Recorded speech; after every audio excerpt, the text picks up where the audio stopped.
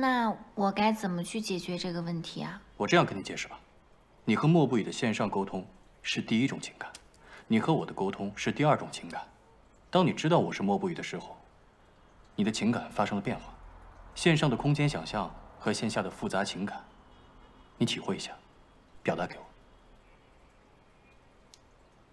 线上的复杂情感，情感有的时候很难用言语来表达，但是通过声音是可以的。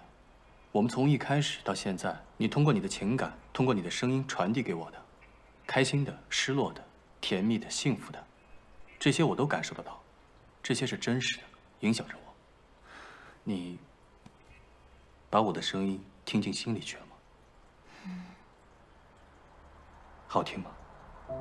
嗯，好听。嗯，顾晨宇，你你能不能好好工作的样子？夏小宁，你感受到我情绪的变化了吗？对手的情感，你要学着去体会。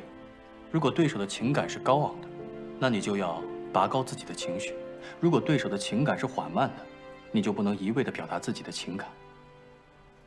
哦，你这个小脑袋在想什么？我刚才在认真上课。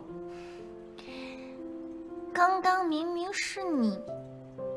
好了，实践教学。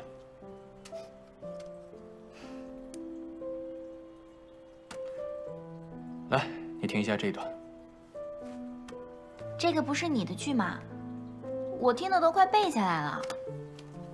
你抛开粉丝心态，认真对照这上面的批注，感受我每一句话的情感变化。好的，顾老师。